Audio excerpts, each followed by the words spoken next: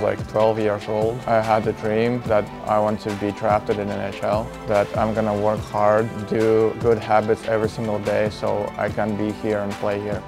My name is Artur Silovs. I'm from Latvia, Ventspils. I was three years old, first time stepping on ice. The rink was uh, huge because it is like fast skater's truck. As a kid, had to skate a lot. So it was a hard time to get uh, from one side to the other. We didn't had any goalies and everyone had a chance to try to be a goalie and I was successful enough to become one.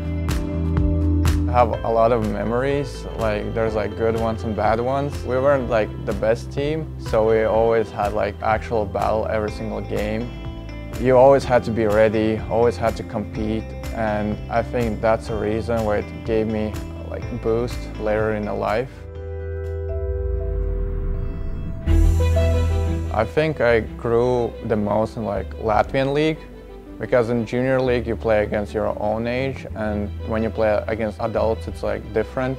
You play against more mature, more skilled and the players who are, have more experience. So you had to be cautious and you had to learn fast to play there. I played in Latvian league, got called to U18's national team. We played a tournament, made a quarterfinals and then later on got drafted. My first year played in uh, Ontario, so I played uh, juniors in for Barrie Colts. So that was like my first experience of actual of Canada.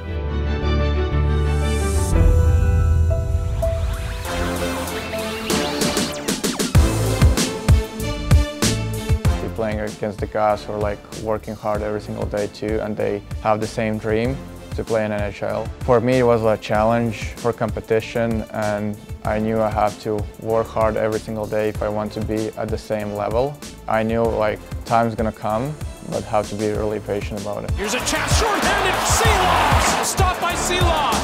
First career National